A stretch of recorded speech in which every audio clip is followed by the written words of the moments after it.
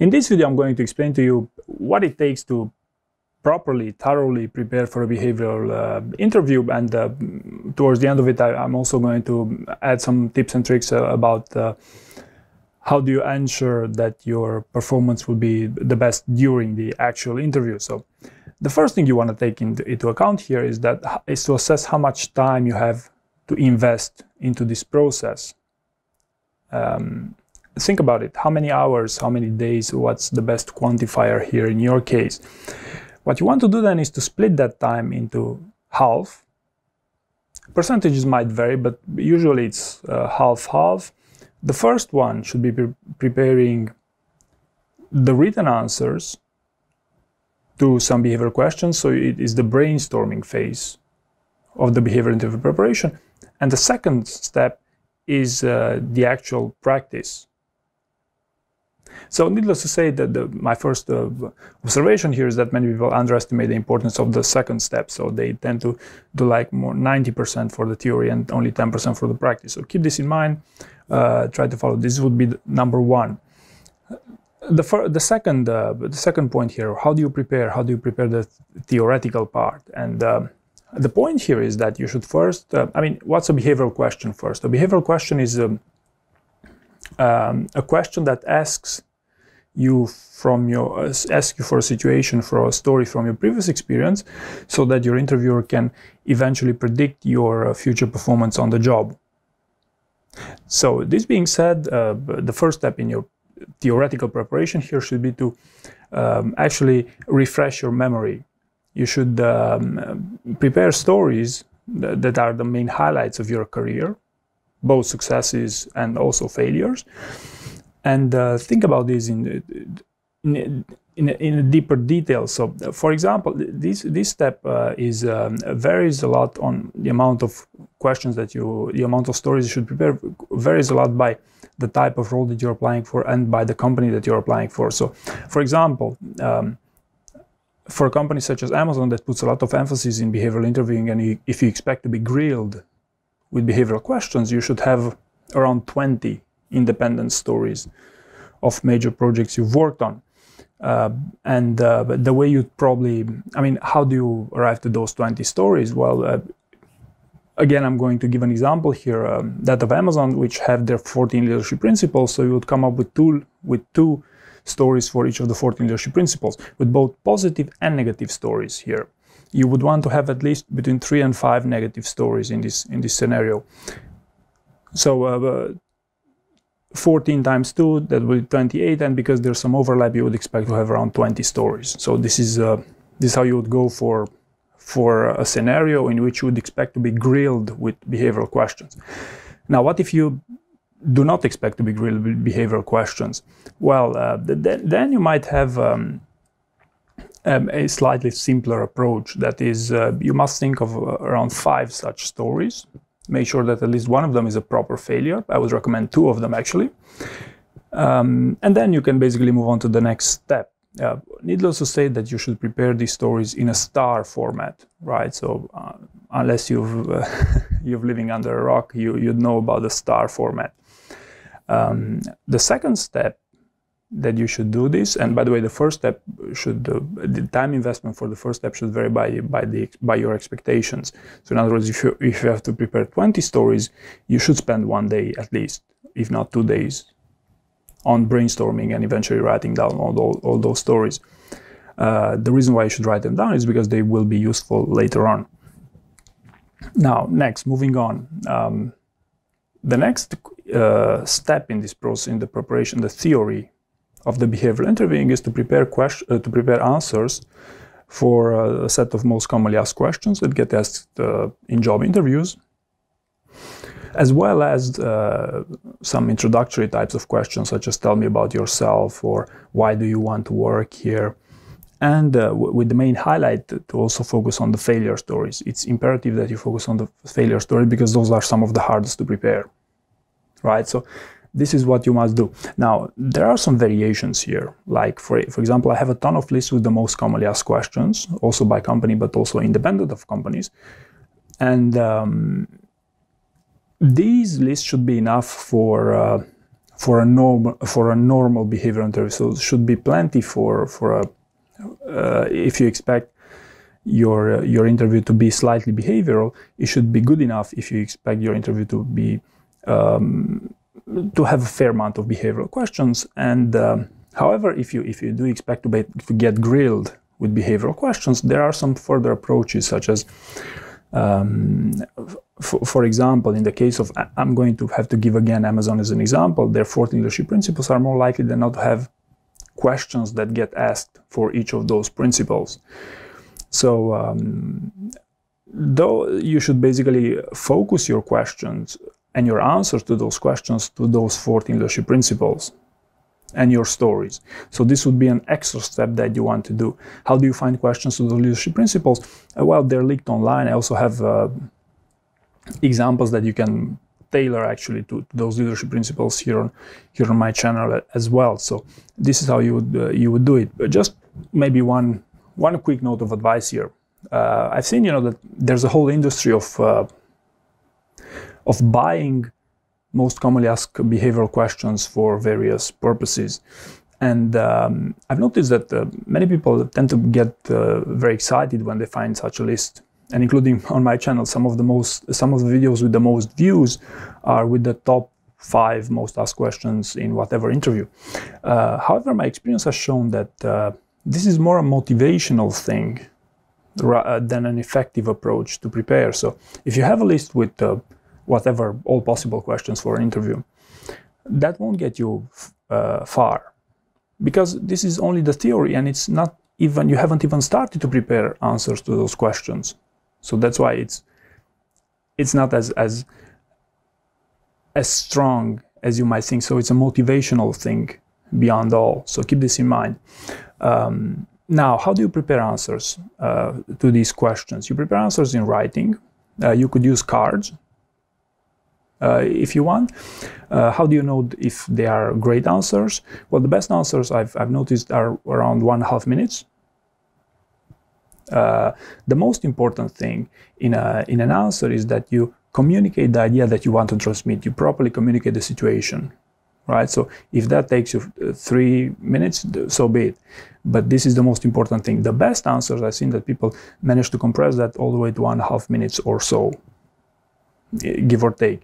They should be in a STAR format, needless to say, because uh, the STAR format has become the de facto norm in behavioral interviewing. So no matter how many, how, how much uh, other people tend to introduce other notions such as the PAR or whatever else, the STAR format is works just fine in any situation or 98% of situations if you want. So, and the one thing you would also want to keep in mind that your answers are quantifiable in some measure, some way. So, uh, quantifiable uh, both in terms of results, if that makes sense, but also when you talk about the situation, talk about what project was, when it was.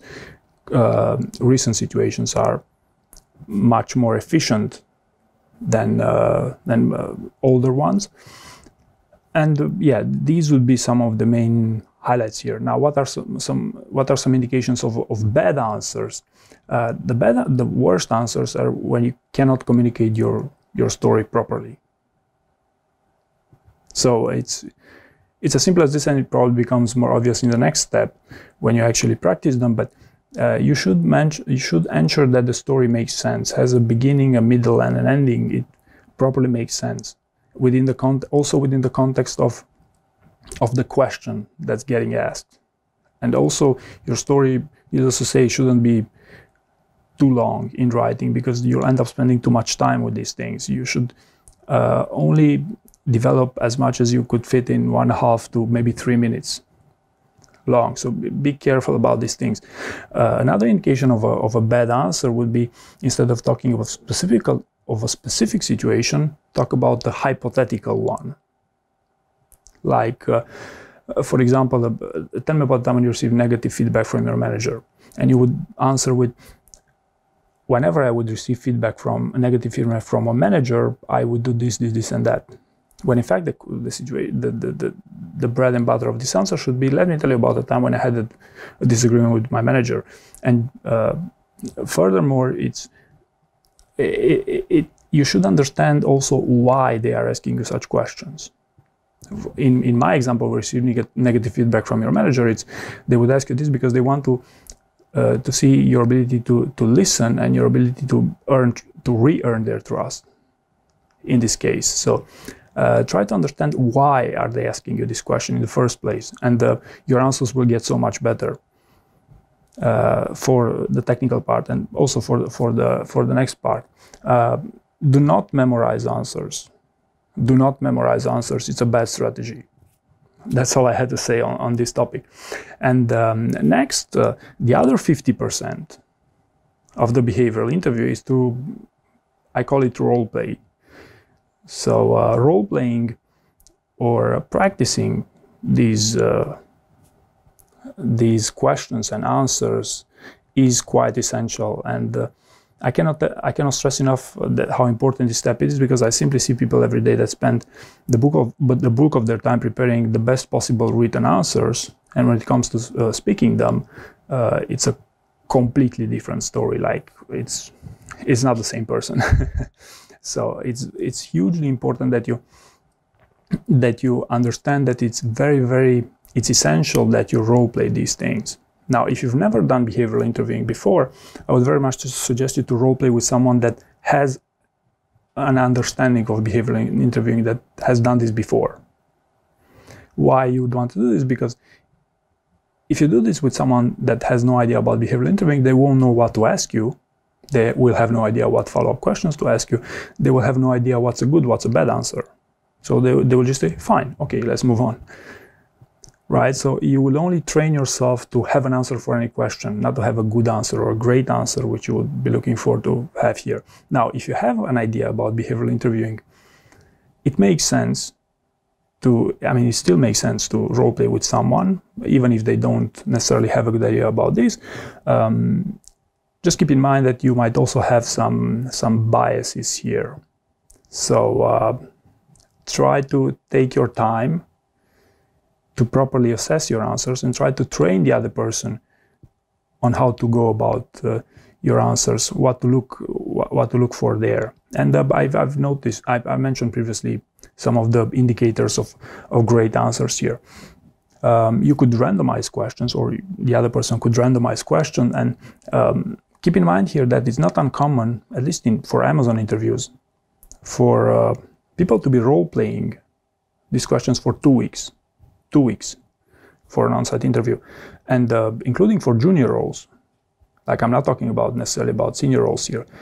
So um, another thing you should be careful of with these role-playing sessions is, uh, given the volume of questions, how often how often do you repeat the same story over and over again for multiple questions? If you repeat it quite often, then that's a question mark that you might not have enough stories.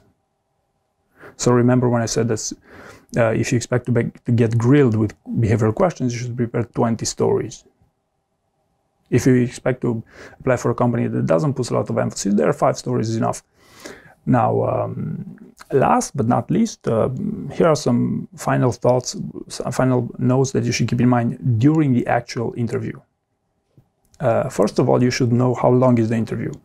Why you want to know how long is the interview? Because you want to keep the level of energy you don't want to give your best in the first two hours and next three hours will be you will be underperforming because you're tired so these interviews can be really exhausting this is the reality. So by the way this is also very much linked with the, with the role play that is supposed to train you to build some um, some that toughness you know to to, to get through it. Uh, also i recommend people to be cautiously optimistic during these interviews cautiously optimistic. Um, there you want to have enough training so you feel confident that you get answers to most uh, behavioral questions. I also have uh, a list with all possible behavioral questions according to my statistics. So, uh, in other words, you should uh, be aware that you should not block with these questions because these questions are designed in such a way that anyone should have an answer for them. So, do not block.